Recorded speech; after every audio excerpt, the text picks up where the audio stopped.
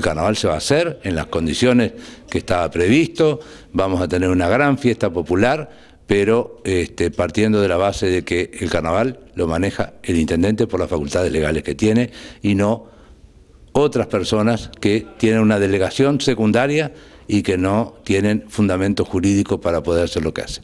El intendente es el que resuelve. ¿La comisión tiene la plata?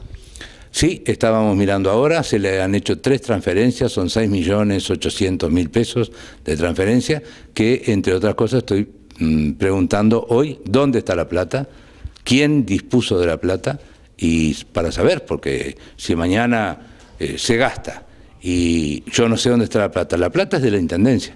La comisión tiene aparentemente una transferencia, tres transferencias hechas por 6 millones y pico de pesos. Primero quiero saber dónde está la plata. Y en segundo lugar, tienen que rendirme cuenta detallada 48 horas después de terminar el carnaval, no 60 días después, como decía una resolución anterior. ¿Va a ser por Sarabia, por Muniz o por Boulevard Francisco Mate? En principio va a ser por Muniz el sábado, el domingo y el lunes.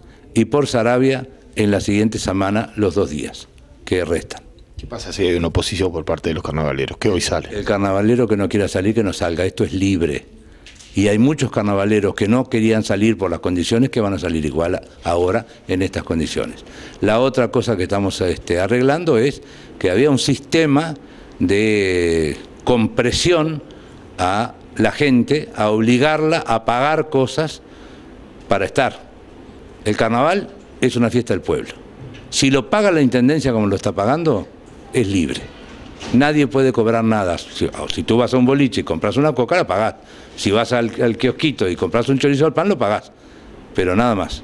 Y van a haber, eh, libertad de que se instale previo control bromatológico todo el que quiera vender los días de carnaval. No hay gueto, no hay prohibición, no hay monopolio.